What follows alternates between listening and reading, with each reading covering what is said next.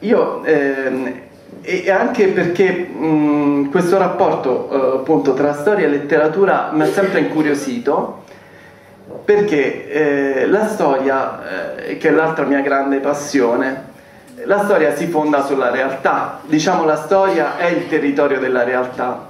Ed è interessante, io non so se come gruppi lettura leggete, ma cioè quel gruppo anche politico che ho visto, che leggono anche filosofi, eh, leggete anche, ci sono i testi di, di alcuni storici del Novecento che sono scritti in un modo impeccabile ma interessantissimo proprio come, come dibattito.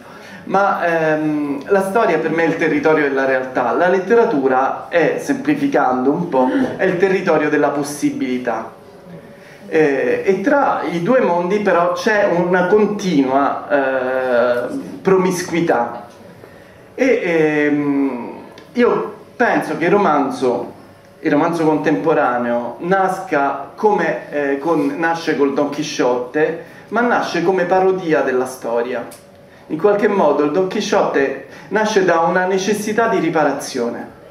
Eh, mi piace questa espressione proprio, si, perché si scrive? Perché uno ehm, perché il mondo appunto senti l'ingiustizia, in qualche modo si sente, si percepisce, si avverte l'ingiustizia del mondo, si vorrebbe cambiare, non si potrà cambiare purtroppo o molto poco, e si, però lo si fa, si, ci si prende una rivincita attraverso il romanzo, appunto dove si aprono tutte le possibilità. Il Don Chisciotte, che è la, prima è una grandissima parodia della storia, un'odissea eh, riprende, altri, riprende Ulisse, poi ogni personaggio di romanzo riprende un personaggio eh, precedente. Ulisse era andato per mare, lui va per terra eh, e ci sono anche lì. Però è un, un prendersi gioco del racconto della storia. Poi si sviluppa il romanzo eh, in, in, maniera eh, più o meno consapevole come antagonismo alla storia, al, al, racconto della storia, cioè gli scrittori che trafficano con le bugie, con l'invenzione, con la finzione, con la fantasia, l'immaginazione, in realtà non credo, proprio perché trafficano con la finzione, non accettano, non credono che il racconto della storia sia vero.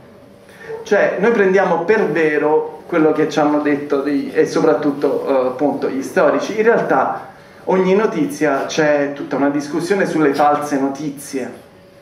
Le false notizie, c'è uno storico, Mark Bloch, che ha scritto un libro Le false notizie di guerra. E loro devono stare, gli storici devono stare attenti molto più degli scrittori all'anacronismo psicologico, lo chiamano, cioè prestare a un'epoca di tre secoli fa eh, un pensiero di oggi. E, e questo è un errore ma accade, ma soprattutto la storia viene, è stata eh, scritta in qualche modo dai vincitori, da, dal potere, in qualche modo da chi eh, si è scritto poi eh, anche per certificare, legittimare alcune, alcuni privilegi. Questa demistificazione del, della storia viene fatta, secondo me, eh, da, dal romanzo. Questa è una funzione profonda, del, anche sociale, del, politica del romanzo. Eh, mette in dubbio il racconto della storia. In questo Sciascia, eh, anche per me, è stato un altro degli scrittori che ho amato di più nella mia adolescenza, anche perché leggevo i siciliani proprio perché per me leggere i siciliani era tornare a casa. Eh, dico sempre che per me una, la cartina geografica della Sicilia o una cartina geografica eh, eh, non ha le città, io immagino sempre la mia cartina geografica ideale della Sicilia, non c'è Palermo, Catania, ma c'è Berga, eh, Sciascia, eh, Bufalino, Consolo. E i siciliani meglio di tutti hanno per esempio scritto la controstoria di questo paese, cioè italiano. Eh, hanno cominciato con Verga con una novella, novella, che si chiama La libertà, in cui lui ha iniziato a, a, a riraccontare il risorgimento, ecco per esempio, in chiave però critica.